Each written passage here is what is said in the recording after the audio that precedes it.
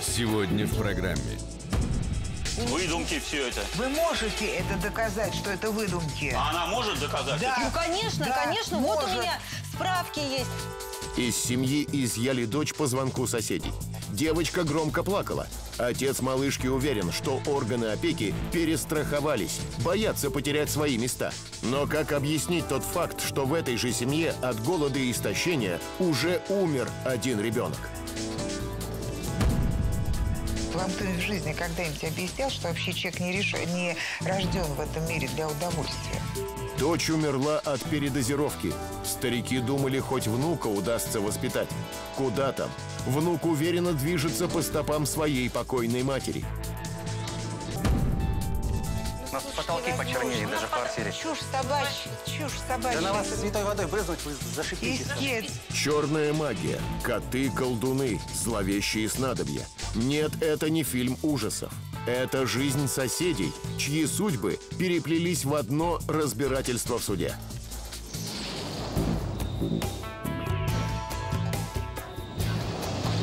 Истец Геннадий Карманов просит отменить решение органов опеки и освободить опекуна от своих обязанностей, а также вернуть ребенка на воспитание отцу. Ответчик, представитель органов опеки и попечительства, иск не признает. Слушается дело Карманова э, Геннадия Петровича э, с исковыми требованиями э, об отмене решений органов опеки и попечительства, которым отказано в освобождении опекуна от исполнения им обязанностей опекуна в отношении малолетней дочери истца и возвращения ребенка на воспитание отца. Ответчиком у нас является представитель органов опеки и попечительства. Также у нас в качестве третьего лица э, выступает Якушина Ольга Ивановна. Вы являетесь сейчас опекуном ребенка. Да, пожалуйста, истец, обоснуйте ваши исковые требования. Ваша честь, я человек пожилой, я от жизни ничего не требую. Только одного – взять на руки свою родную дочь и сказать ей «Здравствуй, доченька». Мне в этом отказывают, и я пока не понимаю, почему. У нас с женой э, несовершеннолетняя дочь Виктория Карманова. Ей недавно исполнилось три года. Ее отняли, и когда я был на заработках. У меня вахтенный метод. Полгода работаю, месяц дома. И вот когда меня не было, пришли, отобрали. Жену ограничили в родительских правах. Я когда узнал, что родную кровиночку отдают в чужие руки, я сорвался, запил, выгнали с работы. Мы не были женаты с женой. Мы сразу подали заявление. Нас расписали. Я установил, э, Признали. да, признал как отец. Теперь я на, на законных основаниях законный отец Виктории. И мне не могут отказать, потому что перед законом я чист. Так, ну давайте мне а, свидетельство Вот, о здесь. рождении. А что у вас еще есть? Свидетельство о О рождении? заключении брака, об установлении отцовства и свидетельство о рождении Виктории. Так. Пожалуйста, органы опеки. Мгм. Сказочник просто, Ваша честь, извиняюсь за отступление. Органы опеки отказали истцу аргументированно. Все дело в том, что когда соседи узнали, что этот вот гражданин хочет вернуть себе дочь, написали коллективное письмо, 50 подписей, Ваша честь. Они все против того, чтобы девочка возвращалась в эту семью. А все почему? Потому что мать Виктории, Елена, уже была осуждена за убийство дочери. Она отсидела свое. Не надо меня перебивать. Эта история произошла 9 лет назад. Девяти- Девятимесячная малышка весила всего 3 600. И умерла она от голода и переохлаждения, Ваша честь. Тогда практически весь состав органов опеки уволили И за всех на- халатность. Не всех на- прекратите меня Истец, перебивать. Истец, истец. И глава администрации выговор получил. Но не в этом дело. Женщина была осуждена. В местах лишения свободы она родила мальчика, которого там же и оставила. Потому что ребенок родился инвалидом, и она его там, в доме, когда освободилась, оставила в доме малютки. Вспомнили инвалида. Инвалидом стал он потому, что там так Истец, принимали Да вы роды. помолчите, истец, наконец. Истец. В дальнейшем, когда три года назад родилась у этой неблагополучной мамаши, дочка Виктория, она находилась под контролем органов опеки. Мы не можем допустить опять такое отношение к ребенку. И когда в один момент соседи позвонили нам, что ребенок надрывается, там один кричит в доме, у них частный дом, мы немедленно выехали, стучали, стучали, никто дверь не Ребенок кричит. У открывал, ребенок пришлось кричит, дверь ломать. И что мы обнаружили? Это злополучная мамаша Елена спит в пьяном угаре. Ребенок доел последние объедки и рыдает от голода, Ваша честь. Естественно, мы ребенка изъяли, а затем мы передали ее опекунам. Очень хорошие люди, добропорядочная семья. И тут через год появляется новоявленный папаша. Я не Отдайте новояв... мою дочь. новоявленный. Я законный отец. Не надо меня перебивать. Мы решили все-таки на его просьбу ответить, проверили жилищные условия. Ничего не изменилось. Пустые бутылки. По словам соседей, те же драки. Мало того, он очень скандальный гражданин. Как напьется, гоняется с поленом за женой. И он еще хочет воспитывать ребенка. Ваша честь, как можно вернуть девочку в такую семью? Мало того, что мать ограничена в родительских правах, и папаша такого поведения. Зачем калечить жизнь ребенку? Она с голода хоть у а опекунов... Вот у меня, пожалуйста, А, опекун, он расскажет. Мне просто прошу уже прощения. слов А нет. где ваша супруга-то? Моя супруга прошла лечение от алкоголизма, собирает документы, Сейчас чтобы ей где? вернули. Почему она не пришла в суд? Потому что она собирает документы, чтобы ей вернули. Давно собирает? Ну как, ну как, вот я вернулся, Год нас, нас зарегистрировали. Это сколько уже по времени? Ну, вот я два месяца с опекой не могу, я бьюсь. То одну э, бумагу Почему принеси, то ваша другую. жена не пришла в суд? Потому что ей не был нужен первый ребенок, ей не был нужен второй ребенок, и третий ребенок ей тоже не нужен. Это Не неправда. нужен. Да, пожалуйста, я вас слушаю. Я считаю, что этому человеку отдавать ребенка нельзя ни в коем случае. А об этой семье нам в свое время рассказали волонтеры. Когда я пришла в дом малютки, на, на девочку невозможно было смотреть. Она была как затравленный зверек. В своем возрасте она не умела ни разговаривать, ни ходить. У не- Выдумки все это. Вот у меня есть. И медицинские простите, по- справки. простите, пожалуйста. Вы можете это доказать, что это выдумки? А она может доказать Да. это? Ну, конечно, Да, конечно. Вот у может. меня справки есть. Там столько было диагнозов у ребенка. И дистрофия, и рахит. Никто ребенком не занимался. Ребенок был запущенный просто до нельзя. А вот сейчас год она живет у нас. И вы знаете, она и бегает уже, и разговаривает полными предложениями. Мы э, э, наняли врачей, она посещает отдельно психолога, она посещает логопеда. У нее, вы бы ви- Отец бы видел, вы ей ни фруктов не давали, ничего. Она первый раз игрушку у нас увидела. Она хоть наконец-то поела хорошо.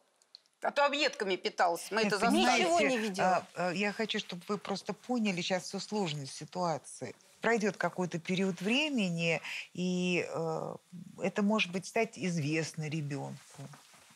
А Обязательно кто-нибудь из э, соседей сейчас что-нибудь расскажет по доброте душевной. Она сейчас вас мамой называет? Да, конечно, она уже фактически год живет у нас в семье. Она их не помнит. Его она вообще никогда не видела. Вот как сейчас ее из прекрасной, сытой, благополучной семьи забрать и опять отдать вот в те условия? Мне ваше заключение и документы, выписки Да. из истории болезни. И письмо вот а, тут коллективное.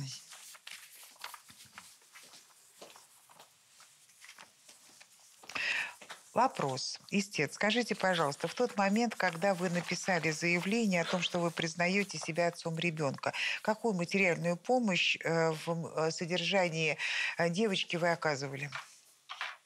Да я все, что зарабатывал, все привозил Ленке Куда? в дом. дом. А скажите тогда, поясните, пожалуйста, почему у ребенка в момент отобрания официально поставлен диагноз истощение и дистрофия? Ну, я не знаю, я в этот момент отсутствовал, как раз зарабатывал. Вы юридически стали отцом. Следовательно, у вас появились все права и обязанности родителя по отношению к ребенку. Вот я вас спрашиваю, как вы исполняли свои обязанности? Мы, когда я получил права на ребенка, когда я их установил, и когда нас зарегистрировали, ребенок был отнят. И вы, как родитель, пришли к опекуну и сказали, нужно ли мне вам как-то материально помочь, сколько денег мне надо давать на ребенка. Как я буду им помогать, если мне должны вернуть ребенка, и мне ребенка нужно будет кормить? Зачем ему же я эти деньги буду отдавать им? А на, на, на период времени это ваша обязанность. Вы родитель, не, лишенный родительских а, прав. Даже, даже маму и папу лишенных родительских прав, это не означает, что они не платят алименты. Почему вы не платите деньги на содержание ребенка? Это Да не ваша нужно- обязанность. Я занимался документами, я просто, наверное, руки не дошли. Руки не дошли у вас, да, понятно? Ну, так получается. Сейчас Ваша ваша, честь. ваша жена где работает? Моя жена не Не работает. работает. А как давно не работает? Никогда. Давно не работает. Давно это полгода, как вышла из год, тюрьмы, два. так и не работает. Как вышло, так и не работает. В тюрьме варежки шила. Так, а Вся ребенок, работа. который, э, к сожалению, инвалидом родился в местах лишения свободы, это чей ребенок? Наш ребенок. Ваш? А как, как ему жить в нашей этой деревне, где 100 э, километров до ближайшей больницы? Скажите, Кто пожалуйста. ему массаж будет а вы делать? вообще знаете, где сейчас находится ребенок? Нет. Так, суд удаляется для принятия решения. Далее в программе. Вам кто-нибудь в жизни когда-нибудь объяснял, что вообще человек не, реш... не рожден в этом мире для удовольствия? Какая бы ни была мать, она для ребенка самая лучшая. Даже если она умерла от передозировки наркотиков, и в характере сына все ярче проявляются ее черты. Такая аура, прям чувствую, негативная аура, вот прям вот с той стороны идет. Вот прям это чувствую сразу. Галин, надо духами пользоваться, чтобы не чувствовать. Когда ребенок чувствует, что его ненавидят, ему снятся кошмары. Родители обвиняют в этом соседку, а в чем реальная причина страданий малыша, решит суд.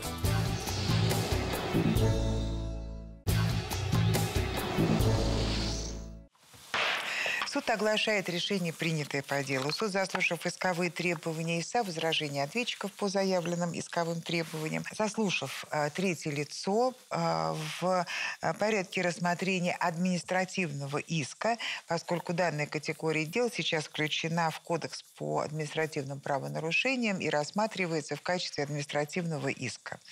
Обжалуемое решение органов опеки и попечительства, которым истцу отказано в освобождении э, опекуна от обязанности опекуна в отношении трехлетней дочери и возврате девочки истцу суд не отменяет и оставляет в силе указанное решение органов опеки и попечительства. Суд не отменяет обжалуемое истцом решение, потому что освобождение опекуна э, от его обязанностей и возврат трехлетней девочки отцу не отвечает интересам ребенка. Истец, недавно установивший свое отцовство в отношении ребенка, имеет склонность к злоупотреблению алкоголем, проживает совместно с матерью девочки, у которой ребенок первоначально был отобран, так как оставление девочки с матерью было опасно, а затем, э, я думаю, что, скорее всего, э, грядет, конечно, и лишение мамы родительских Да, мы прав. готовим уже В настоящее время э, мама не подала какого-либо заявления э, об отмене ограничения э, в родительских правах, Э, поэтому суд исходит из того, что мама свое отношение к воспитанию и принятию участия в воспитании ребенка не изменила. Кроме того, суд установил, что опекуны выполняют надлежащие свои обязанности, обеспечивают девочку уходом, лечением, занимаются ее развитием, заботятся о ее содержании. И благодаря этому суд считает, что для девочки на самом деле созданы наиболее благоприятные э, и необходимые условия для проживания. Истец ответчик, суд огласил свое решение, дело закрыто. Решение суда. В иске отказать. Это, это произвол. Отнимают у родителей детей, а потом чужим людям за это зарплату платят. В настоящее время органы опеки готовят документы для лишения отца и матери Вики родительских прав. Надеемся, девочка обретет свое счастье в семье опекунов. А мы за этим проследим. В этом суде жарко зимой и летом. Я люблю тебя, я люблю сына. Что мне сделать еще для этого? Что мне сделать, скажи? Ничего, иди обратно в тюрьму и сиди там.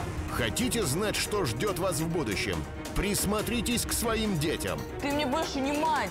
Зачем ты ребенка подводишь под статью? Он же сядет так же, как сидел ты. Я считаю, что моя мама лучше, чем мать Тереза. Ты ей дал денег на аборт, а потом еще написал «В следующий раз предохраняйся». Да с чего вы взяли, что я говорила себе? Не говорите, что вы не видели. Он обязан платить мне алименты. Обязан. Вот тебе не алименты, поняла, шельма. Битва за будущее. Он сейчас в больнице.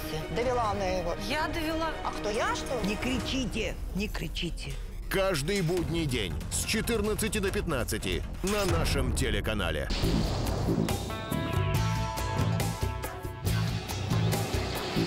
Истец Елена Горбунова требует, чтобы ее освободили от исполнения обязанностей опекуна над внуком. Ответчик, представитель органов опеки и попечительства, с иском не согласен, так как отмена опеки будет не в интересах ребенка.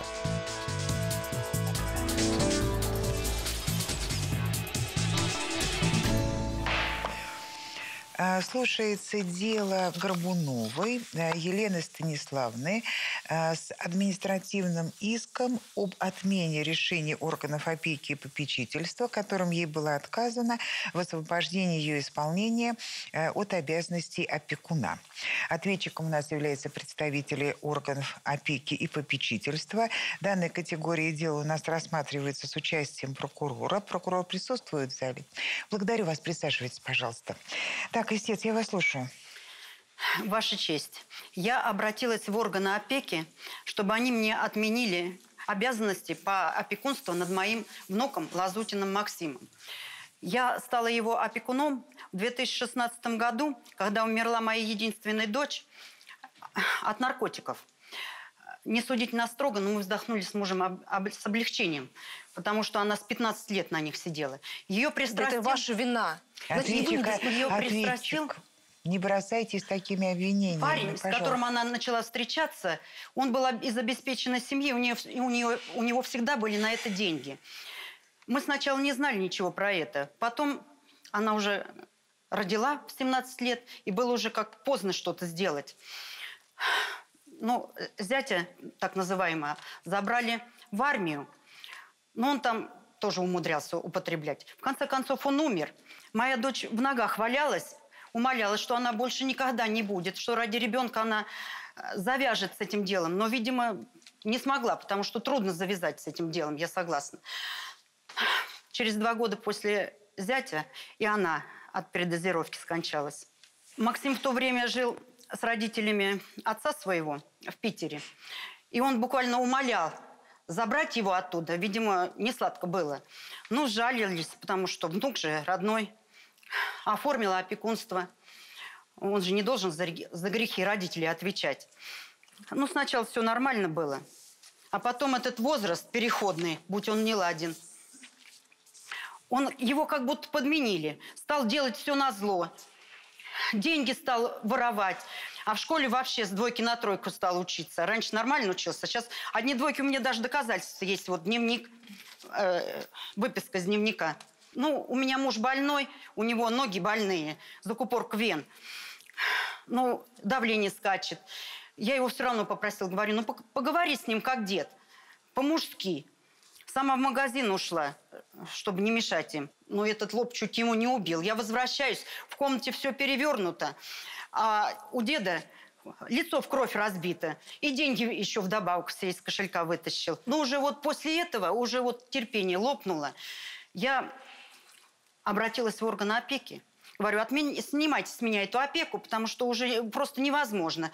А, Пока он нас не убил где-то там. Ну как же так? Сначала- То берем, то отдаем. Это вам что, звереныш какой-то? Это ребенок? Ну, не справляемся мы, понимаете? Не справляемся. У меня уже просто вот сил нет никаких.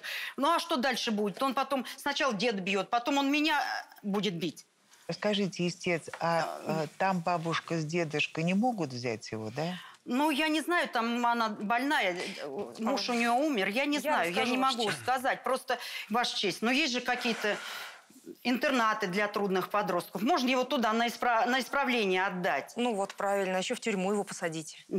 Про тюрьму никто не говорит. Я поняла вашу позицию. Так, пожалуйста, органы опеки. Ой, Ваша честь, э, мы возражаем. Опека возражает против того, чтобы ребенка отобрать у бабушки. Чтобы Не бабушка... отобрать, Да. отменить опеку. А как, скажите, органы опеки? А, Ваша честь, Нет, э, все, что я- вы мне сейчас произнесете, что так к детям относиться нельзя, нужно понимать ответственность, зачем надо было просить, это я все знаю. Нет, Ваша честь, я не вы про- в я не этой этом. ситуации, Я о как себе, как себе том- пред- представляете в этой ситуации, когда люди говорят, мы не можем справляться, мы ответственно понимаем, что мы справиться вот с этим возрастом и с этим поведением сами не можем. Ваша Вы что честь, да, предлагаете? ситуация Их очень сложная, поэтому мы пришли. Насильно заставить? Естественно, никто не может заставить людей заботиться о ребенке. Мы просим только подождать, Ваша честь. Речь идет о нескольких месяцах. Мы просим бабушку потерпеть, подождать, я не знаю, разобраться как-то в ситуации. сколько терпеть? Может быть, не так виновен Пока- ребенок на самом Подождите, деле. ответчик, а что изменится за несколько месяцев? Та бабушка, с которой мы связались по отцовской линии, у нее проблемы со здоровьем. Она ложится все время на реабилитацию в больницу. Капельницы, процедуры. Она единственное, что просит, вот поправить здоровье. Время ей нужно. А вернуть ребенка в детдом – это очень плохие перспективы. Понимаете, он, в- перевоспитание он в интернат, сейчас, ну какое перевоспитание? Ну какое в 13 лет перевоспитание может быть? Но Под проведите, проведите обследование, направьте специализированное учреждение э, коррекционное. Что проблема? Ну, к вам обратились. Ну, вы э, вызовите э, ребенка к вашим специалистам-психологам. А если, может быть, там, правда, какие-то хронические проблемы, которые нужно, э, чтобы специалист более углубленного профиля этим занимался, направьте к этому специалисту. Если там на самом деле требуется корректировка в поведении, в каком-то психологическом состоянии, направьте в специализированное учреждение. На слава богу, для детей сейчас все это есть. Но Ваша такая честь, я очень простая прошу, позиция, давайте которая... поговорим с ним. С Максимом. Он не хочет детдом. Я, я прекрасно понимаю, конечно. Ну, конечно, он не хочет детдом. Так, пригласите, пожалуйста, в зал несовершеннолетнего. Свидетель ответчика, войдите. Совершенно адекватный, здоровый ребенок. Что вы так?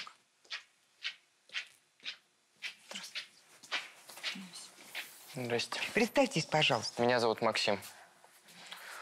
А, Я не хочу жить э, сейчас с бабой Леной. Дело в том, что они меня уже достали каждый раз. Сам достал. Подождите, истец, не вопрос. У вас единственный путь отсюда. Мы все выходим, а вы едете сначала в органы опеки и попечительства, потом в распределитель, а потом как они, где какое место найдут. Я не хочу в детдом, я хочу жить с бабой Машей. Еще раз повторю, еще раз повторю. Вы не сторона в процессе, и вы не можете что-то хотите или не хотите. Ну, расскажи, как все А будет так, как я вам говорю, потому что другого варианта нет. Не потому, что я такая плохая, а другого варианта просто нет. Я было. сейчас отменю так, перестаньте здесь бубнить, он Простите, большой, даже не могу даже сказать мальчик, а уже вполне себе мужчина. Так Дело вот, в том, вы, как, что вы как мужчина и принимаете мужские решения. Дело в том, что не так, э, как все здесь описано, все было. Я не бил деда. Дело в том, что он... Есть а, не, не в этом вопрос. А вопрос в том, что ваша бабушка с дедушкой говорят, что они не могут с вами найти общий язык. А люди не могут найти общий язык, это когда один пытается, а другой не хочет. Вот Скорее вы- всего, они не пытаются. Ну, Дело если бы ты слушался, если бы ты слушался. Молодой человек, еще раз повторюсь, еще раз повторюсь, да? Значит, я выношу решение об отмене опекунства, а, вы едете домой, забираете вещички, складываете, э, уезжаете к органам опеки, они вас приемник-распределитель, а там уже решают, куда вас не дальше. надо, не надо отменять э, опекунство. А как, а как я могу это сделать? Это если только ваша бабушка Просто откажет. взять бы не э, отказался, и... если бы он Нет, нормально себя я вел. не могу не просто взять и что-то такое сделать. Понимаете, в чем? Я не Руку могу. на деда поднял. Ну, можно такое терпеть. А завтра просто на я- меня поднимет. Нельзя перенести это опекунство на другого человека. Есть Нет. другая бабушка. с Нет, я, я не органы опеки. А органам опеки для того, чтобы э, назначить другого опекуна, это для этого нужно время определенное. И совершенно не факт, кстати говоря, что органы опеки э, вообще будут иметь право другую бабушку назначить С опекуном. Бабленой я общался, с- э, пытались мы найти общий язык, но дело в том, что они сами не хотят выслушать Я меня. поняла, да. Будьте добры, пожалуйста, свидетели, да, с Да, вашей да, стороны? Ваша честь, давайте а пригласите, пожалуйста, в зал свидетелей, да. свидетеля-ответчика. Свидетель ответчика, войдите.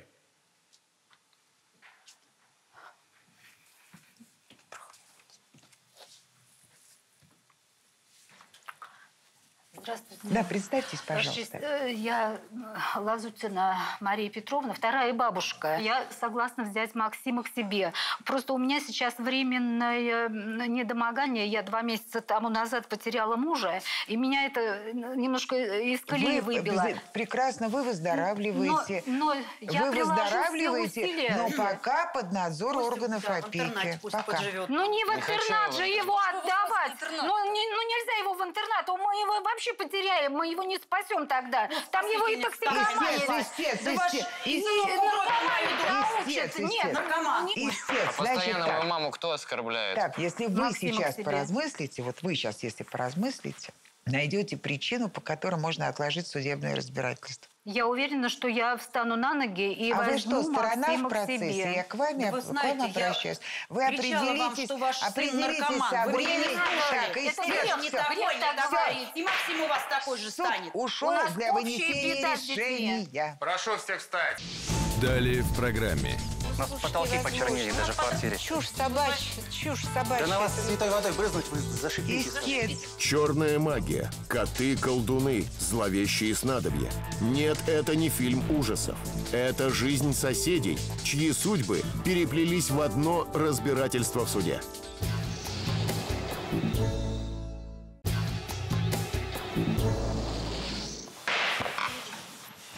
Суд оглашает решение, принятое по делу. Суд, заслушав исковые требования истца, возражения ответчика по заявленным исковым требованиям, опросив несовершеннолетнего и свидетеля ответчика, административный иск удовлетворяет и выносит решение об отмене решения органа опеки и попечительства об отказе в освобождении истицы от исполнения обязанностей опекуна в отношении ее 13-летнего внука.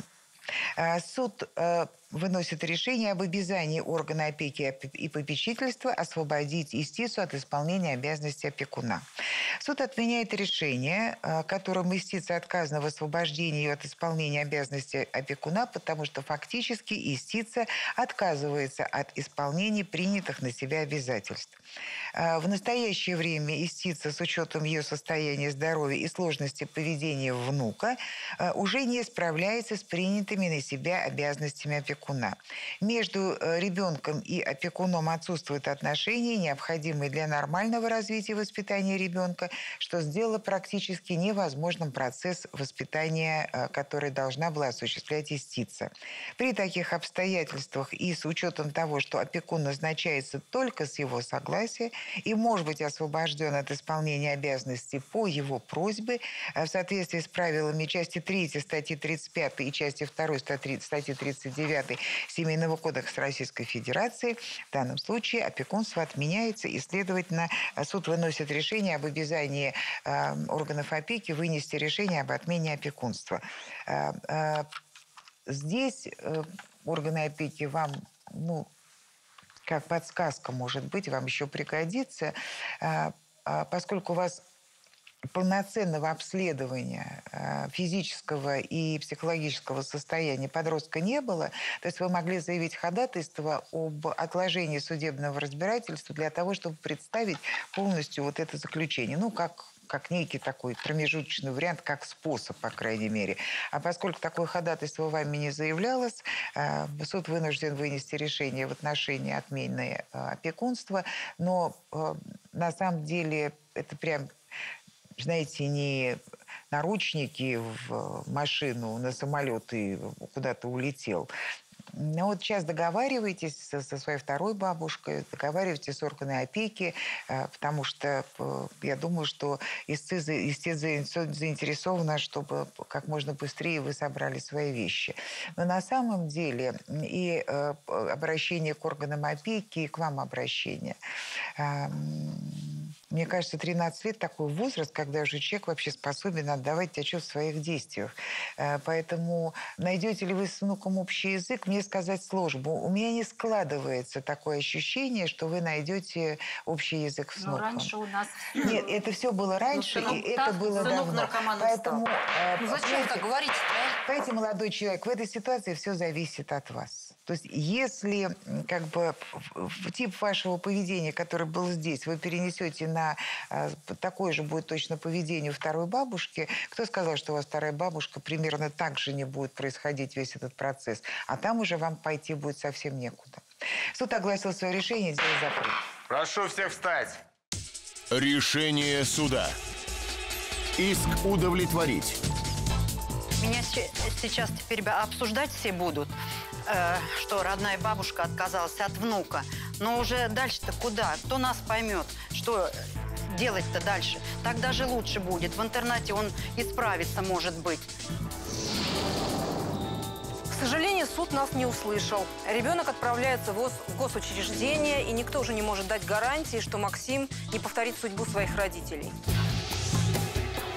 Это самое полезное телевидение. Смотрите внимательно. Сожители – это юридическое понятие. Записывайте. С очень давнишних времен было принято такое решение, что дети, рожденные в течение 300 дней после того, как мужчина ушел воевать, они признаются ребенком этого мужчины. Специально для зрителей программы «Битва за будущее». Бесплатная юридическая консультация. Знаешь, Жень, ты знаешь, что По-моему, тебя уже пора. Чего что, за три тысячи? Это вообще смешно просто. Каждый день с 14 до 15 на нашем телеканале.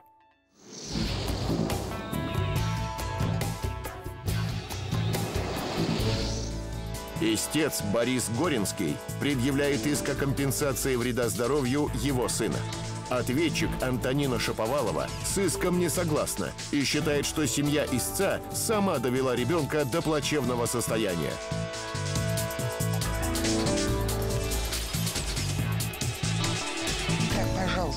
Истец, обоснуйте ваши исковые требования. Ваша честь, дело в том, что я действительно требую, чтобы с, наш- с нашей ответчицы наконец взыскали э, эту сумму 50 тысяч рублей, потому что я уверен, что именно благодаря ее стараниям, в кавычках, мой сын э, понес большой вред здоровью. У него сейчас хроническая бессонница, хроническое нарушение сна и невроз. Вот. А сумма, которую я требую в иске, она взята не случайно, не из головы. А, Мы э, делали важную процедуру, которая называется полисомнография, вот, э, где специалисты-сомнологи изучают сны. Вот, и по результатам анализа специалисты, сомнологи действительно подтвердили, что у моего сына большие проблемы со сном, и у него невроз. Вот. А вся история, собственно, началась с того, что случилось на нашем балконе.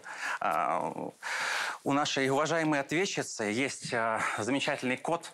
И э, как-то раз мой сын Стасик, он играл на балконе, и совершенно случайно, резко, неожиданно выскочил кот соседский и ее соседский кот. А он, я прошу прощения, очень страшный, потому что у него нет одного уха. Да, конечно. А, Чудовище. И он выскочил на моего сына.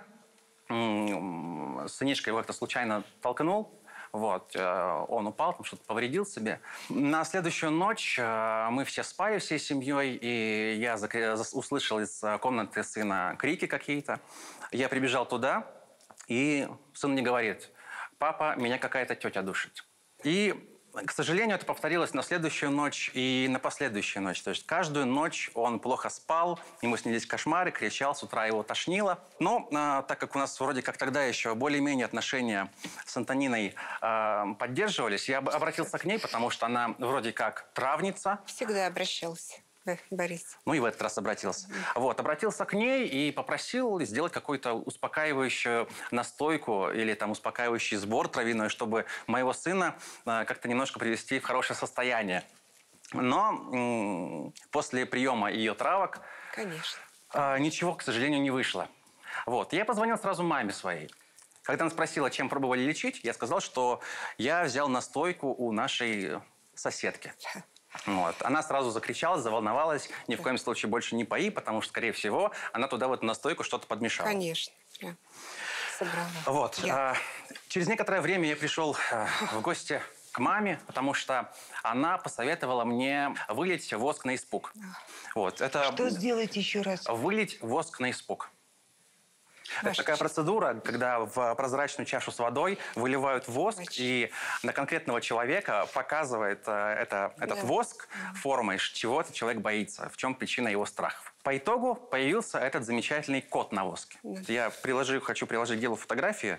Знаете, я так хочу себе просто представить. да, я- там решение, решение суда. А, истцом представлены фотографии гадания на воске. Воск показал кота, поэтому... И, вот, это серьезно, что Ваша ли? честь, можно поясню? Я понимаю, что это смешно звучит, но мы на «Хрустальном шаре» тоже проверили, и все немножко то же самое. Я извиняюсь, может быть, это действительно, правда, немножко странно звучит, но так или иначе, во-первых, вред – это то, что постоянно нашего сына чем-то пыталась опоить. Вы же сами обратились. Мистика оккультная называется. Ну, вы же сами обратились. Я понимаю, просто я э, уве- уверен, что именно благодаря ее действиям, а, вредным для здоровья моего сына, ему сейчас он в таком состоянии А находится. как вред в чем конкретно выразился? У него невроз, у него э, натуральное расстройство сна, он не может спать. 50 тысяч, как вы посчитали? Э, у меня есть чек э, из той лаборатории. Вот, э, То есть это стоимость анализа? это стоимость этого анализа. Через судебного пристава. Передайте, пожалуйста. Так, пожалуйста, ответчик, вам смысл исковых требований понятен? Понятен. Ваша честь, э, я Шаповалова Антонина Николаевна вот сразу просто так разнервничалась. Такую нелепость несет вот мой сосед Борис Горинский, но не знаю, белиберда какая-то. Это просто я... Поэтому, простите, я вообще-то не ведьма, не колдунья никакая, чтобы вот вред ребенку причинять. Я фельдшер по образованию. Я окончила медучилище, фельдшерское отделение. Много лет работала в обычной больнице фельдшером, потом медсестрой. Потом ведьмы решили стать. Нет, я увлекалась с- травами всегда, собирала их, да, потому что я верю в травы и знаю действия их на человеческий организм, еще будучи работая в больнице. А когда вышла на пенсию в 2000 году, решила уже как бы заняться, ну, с пользой тоже для кошелька семейного, прошла специализацию, закончила курсы расширенные по фитотерапии, получила лицензию, оформила действующую на право ведения частной деятельности. И э, соседи, надо сказать, вот, э, ну, стараюсь как-то безвозмездно даже оказать какую-то помощь. Только здоровье соседям портите, да? Маленьким детям. Борис всегда оказывала помощь и травы, и советами, всегда. Спасибо. Вот. И рада была за Бориса, когда он женился. Взял женщину с ребенком, и я была рада, что в его доме зазвучит детский смех. Вот. И Ирина была прекрасная жена, и сейчас она хорошая жена. И Стас, эм, мальчик прекрасный. Где-то месяца четыре назад вот обратила внимание, просто обратила внимание, что мальчик вздрагивает, когда видит меня вот на лестничной площадке. Я подумала, что что-то, может быть, ну, как кто-то напугал, а тут и Борис подошел, вот мальчик плохо спит, Стас, дайте какую-то тра- траву там, допустим. Ну вот, понятно, почему вздрагивает, да? Я приготовила причина его сбор, страхов, да? я приготовила лечебный сбор, как это положено. Нас учили вести документацию правильную, делать сборы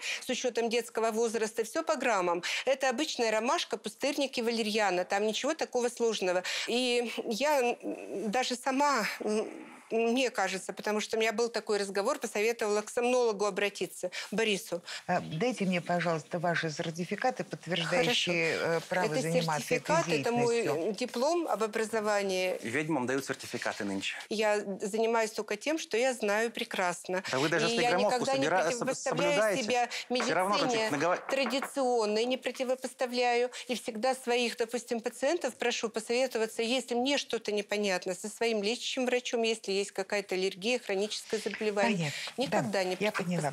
Так, вы просили свидетеля с вашей стороны, да? Пригласите, пожалуйста, в зал свидетеля истца. Свидетель истца, войдите. Вот такая аура, прям чувство, негативная аура, вот прям вот с той стороны идет. Вот прям это чувство сразу. Галина, надо духами пользоваться, чтобы не чувствовать. Ответчик. Простите. Представьтесь, пожалуйста. Э, Ваша честь, я Горинская Галина Сергеевна, мать Бориса и бабушка Стасика. Вы знаете, я пыталась на нее подействовать ее же методами, бороться с ней. Сделала тоже травяной сбор защитный. И мы этим сбором э, поили Стасика. Не помогло. Понимаете, не помогает. Это такая сильная ведьма, что через стену воздействует. Свидетель, свидетель. Через стену воздействует, понимаете? И все наши вот желания, все наши труды сводит на нет. Ну, У нас слушай, потолки невозможно. почернели У нас даже в пото- квартире. не то, что... Чушь собачья, чушь собачья. Да на вас святой водой брызнуть, вы зашипите. Зашипит, заш- Ва- э, Ваша честь, вы понимаете, я с ней по-хорошему пыталась поговорить. Оставь мою семью в покое, тем более ребенка. Оставь. Нет, злобой дышит, понимаете, и все вокруг отравляет. Все вокруг отравляет. Галина, Это голову уже такой включи, человек. Включи голову, ну просто полная. У меня голова всегда на плечах, всегда на голове. А вот ты всегда прикинешься такая тихоня, овечка, овечка, а на самом деле нутро у тебя гнилое. Ваша честь, я считаю, что вот эм, иск моего сына удовлетворить вы обязаны, обязаны, потому что здесь напрямую воздействие негативное ее, понимаете? Нет. Она месть, месть, понимаете, натуральная подождите, месть. Подождите, свидетель, негативное воздействие или неправильная дозировка отвара? Так она нашептала, наговорила, натворила этот отвар, наговорила, непонятно, что она там Ну, еще, что, белиберда она там сделала. Какая-то, ну просто это, я не знаю, мистика оккультная. Но ну, почему-то же это случилось. Ваша честь, я вам даже пример приведу. Она увела от меня моего первого мужа. Боже мой, В гости ходила раньше вспомнила, редко Галина, ходила, ну, в гости ходила редко. А тут приходит, представляете, с коньячком, с коньячком приходит в гости к нам. А у меня как раз давление, таблетку выпил, он думал, ладно, не буду пить. Муж мой выпил. Как вы думаете? На следующий день все, потянула его туда к ней. И ушел. Ушел навсегда. А чё, просто обык- обыкновенный коньяк. Да никогда я в жизни не поверю. Точно-точно на- нашептала, наговорила, и все. Приворошила знаю. мужа моего. Ушел. Ваша А сейчас теперь мстит вот за кота. Они же ведьмы всю жизнь. Кот это же для них же все это. Вы понимаете, у каждой ведьмы свой кот. Был бы хороший кот, упал бы на четыре лапы. А это, видать, кот такой же притруханный, как и она, С третьего понимаете? этажа раз и- С третьего этажа. С каких этапов, чтобы кот раз и упал и, и прям пострадал? А вы- Галочка, вы, думаете, вообще- почему она возмущается? Она же клиентуру свою потеряла. Конечно, потеряла свою потеряла, клиентуру. конечно. Как это, где денежка? И вообще хотела Постоянно сама подавать Соседи говорят, что суд поехали туда, в Египет За поехали, на Бали поехали, везде на поехали. А теперь все, денежек нет, на пенсию теперь будешь жить. Вот она и А запереживалась. почему денежек нет? А потому что это самый клиент, и от нее поняли, что это за человек. мы что это значит? были- Даже соседи не стали э, с ней не здороваться, понимаете? Конечно, очень некоторые Соседи только. поняли, что ты Остальные за прям со такая. смехом вспоми- Конечно, да. разговаривают и Мы- передают ваши все эти наговоры. Мы просто уже были на одном а, ток-шоу, на котором мы обсуждали вот эту ситуацию. Вот. И там специалисты, конечно, признали, что действительно она тоже виновата. Ваша честь. Паранормально, да. Что? Ну, передача Что? есть такая паранормальное явление, И и, что- мы там... Что она отравит моего сына. Ваша А честь. тогда можно что вы здесь-то делаете? Как, зачем? Ну там признали, а здесь тогда... Извините, а кто будет э, возмещать уж это убытки? Вот та 50 тысяч. специалистка, Извини которая меня, признавали. 50 тысяч, вы знаете, это, это, это, это только уже по- а сколько еще Не-не-не-не-не. потратится на здоровье ребенка, понимаете? Вот я- вы прекрасно я- знаете, что я- у нас я- какая я- медицина. Я слова знаю. А, Да, там заключение специалиста, судебная экспертиза, медицинская судебная экспертиза, фонографическая судебная экспертиза, психолого-психиатрическая судебная экспертиза, психиатрическая, строительная, техническая, оценочная. Ну, много видов экспертиз.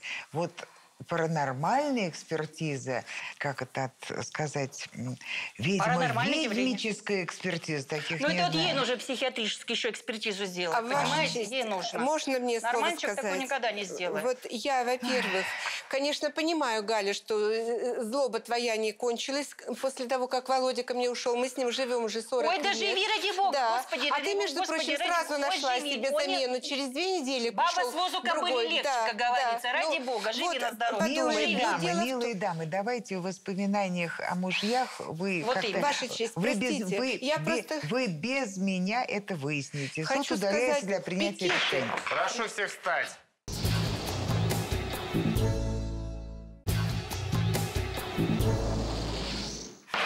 Суд оглашает решение, принятое по делу. Суд, заслушав исковые требования истца, возражения ответчика по заявленным исковым требованиям, опросив свидетеля со стороны истца и рассмотрев все представленные э, документы и доказательства, э, в иске о возмещении вреда здоровью считает необходимым отказать.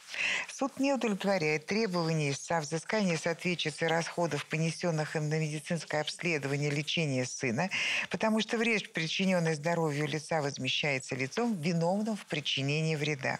Виновными признаются действия, являющиеся административными правонарушениями или уголовными преступлениями.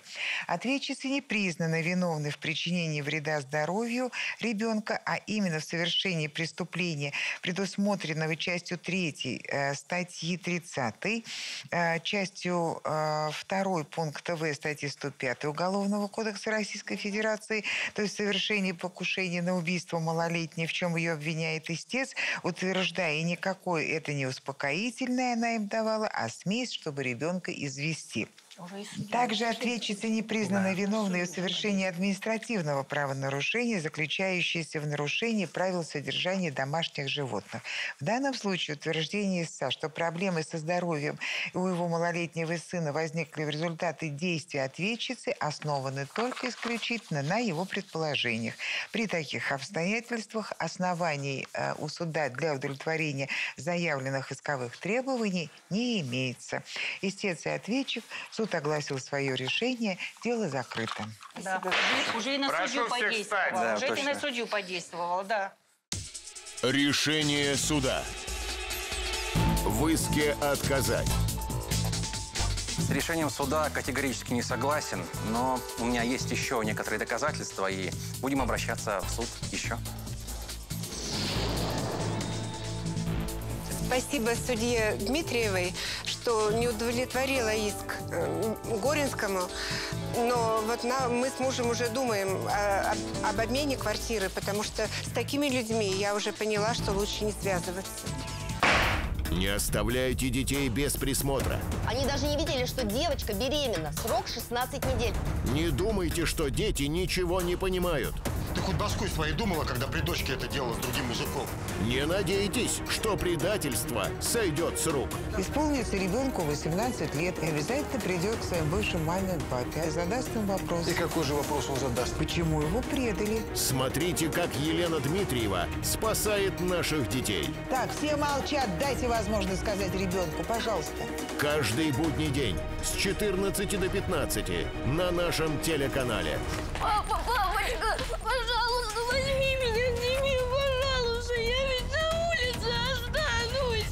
Битва за будущее. Дело закрыто. Жаркое лето.